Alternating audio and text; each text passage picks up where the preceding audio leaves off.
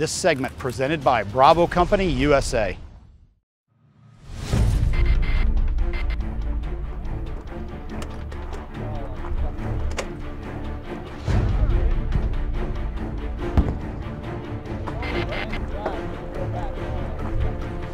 All right, fans, I'm out here with Sergeant First Class Bill, who happens to be the senior instructor on the heavy weapons side of the house of the 18 Bravo Committee.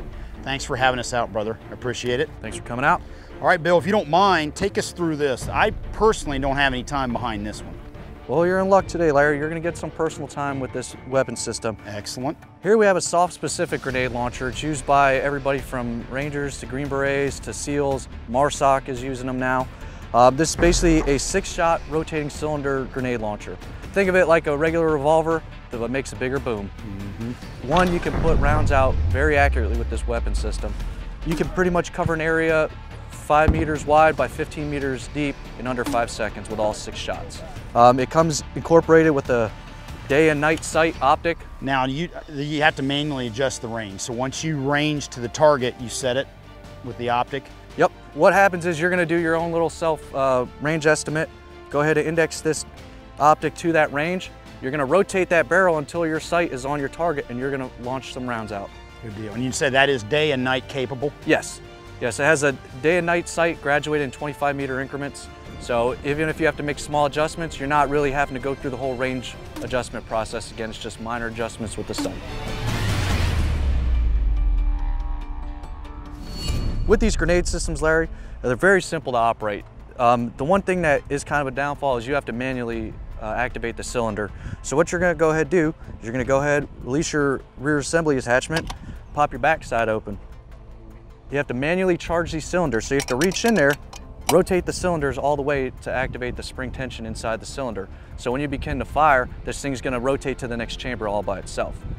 Go ahead, load your rounds in it. Just close your back plate, keep your weapon pointed down range, apply your range estimate, and just put your sight on your target and you're ready to fire.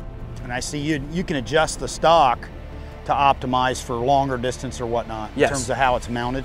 Yes, the stock is adjustable for closer ranges instead of having to arc your back, you know, just straight on shot. Or for farther ranges, go ahead, activate your stock, adds a little more elevation to the front of your gun. Uh, one of the other cooler functions is the speed at which the rounds, the spent casings can be removed from this weapon system.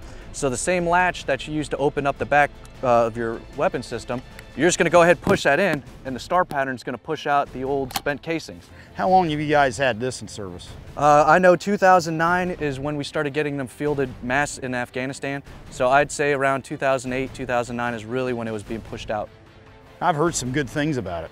Oh, it's a great system. Uh, again, a little bit bulkier, but you know what? Instead of going from, say, six rounds a minute, you have 18 to 21 rounds a minute of firing with this. Excellent, brother. Can't wait to fire that bad boy Well, it's up. a good time.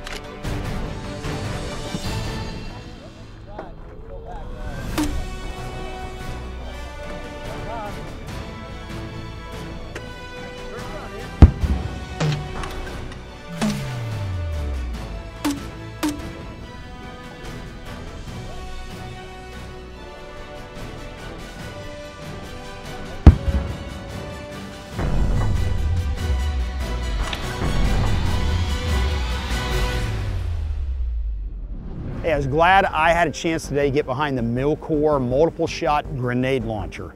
Basically like shooting a 40 millimeter revolver that's shoulder fired. A few things about it. The rapid fire capability, six shots, being able to launch it downrange in a very short period of time is a major plus. One thing, you gotta know your loading procedure. I figured that out real quick. Unloading the gun, clearing it, and then making sure you reset the revolver cylinder by hand correctly is critical with that weapon system. Overall, pretty slick. Talked to some old special operation guys I know, and they love the weapon system. It's been very effective overseas. It's another thing that you see in the special operations arsenal.